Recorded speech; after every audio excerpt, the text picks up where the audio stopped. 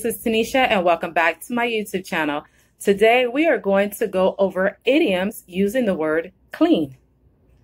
Clean idioms.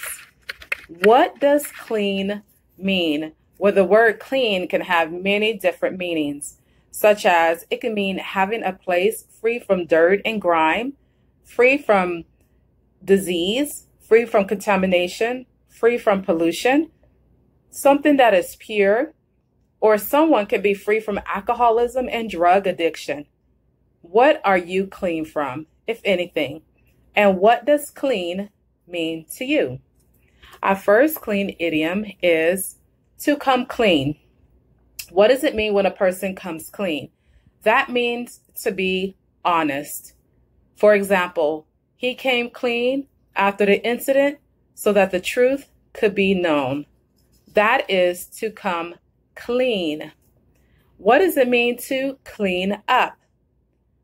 It, it has several meanings. It can mean to make a lot of money or to make something clean. For example, he cleans up very well financially because of the money he earns from work. Or she's going to clean up the house for her sister's birthday party. What does it mean to have clean hands? Clean hands. That means to be guilt free. For example, whatever happens, my hands are clean because I had nothing to do with the situation. That is to have clean hands. What does it mean to have a clean bill of health? That means a person who is in good condition. For example, she passed her physical exam and now has a clean bill of health. That means to be free from illness. What does it mean to have a clean break? That means no sharp edges. It can also mean a sudden separation from something or someone. It's a sudden, complete end. For example, they made a clean break out of town when they left the bad relationship. Suddenly, something ended. It was a clean break. What does it mean to be clean as a whistle? That means to be pure, not involved in anything bad or illegal. He was clean as a whistle when his office was searched for illegal items, but nothing was found. He was clean as a whistle. Have you ever been told to finish all your food on your plate? So, what does it mean to clean one's plate? That means to finish all of your food. Tony cleaned his plate because the food was really good. Clean up one's act. That means to improve. Tony cleaned up his act after getting into trouble with his family. He cleaned up his act. He improved himself. What does it mean to have a clean conscience? To have a clean conscience means to be free from guilt. He had a clean conscience because he told the truth. We should all have clean conscience. Clean cut. What does it mean to be clean cut? That per- that means that person is well groomed. For example, he is always so clean cut when he comes to work. Clean cut.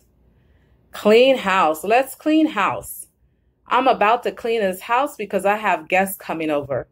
Or the organization came to clean house because the company had illegal stuff going on inside. To clean house. Let's make a clean getaway. That means a smooth escape. She made a clean getaway from the crowd. Run free, clean smooth escape. What does it mean to have a clean slate? That means a fresh start, to get another chance. Terry was given a clean slate to start her project over after it was not completed the first time around. Clean slate. Clean sweep. What does it mean to have a clean sweep? That means to win all the competitions or to win the prizes. The team made a clean sweep on the football field and won their fourth game in a row. Clean swipe, sweep. Sorry. What does it mean to wipe the slate clean? It's the same as clean slate. It also means fresh chance, a fresh start, a new beginning. What does it mean to be squeaky clean? That means it is completely clean. The place was so squeaky clean that I was afraid to touch anything because it was super clean.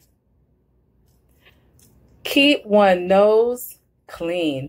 That means to stay out of trouble. It's always good to keep your nose clean and to be careful of who you hang around with. Clean out. That means to make completely empty. Terry cleaned out her closet so that she could give her clothes away to the poor. Clean out. Those are a few words uh, for clean, for the word clean to use as idioms. I hope this will help you greatly with learning English as your second language. I can also be followed on Twitter at Queen Esther 100. And I can also be followed on Instagram at 100 Queen Esther. And you can also look at the bottom. The words that you see, make sure you write them down, copy them, make a sentence out of them, and practice them. Hope this was helpful for you. I look forward to seeing you again soon and have a great day. Bye.